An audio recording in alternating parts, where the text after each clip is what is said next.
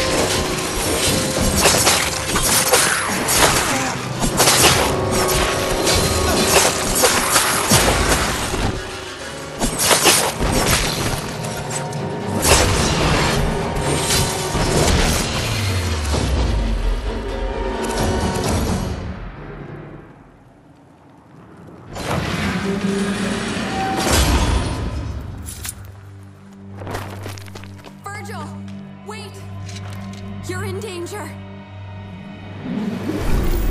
Hey, Vergil. You're not going anywhere. How does it feel, brother?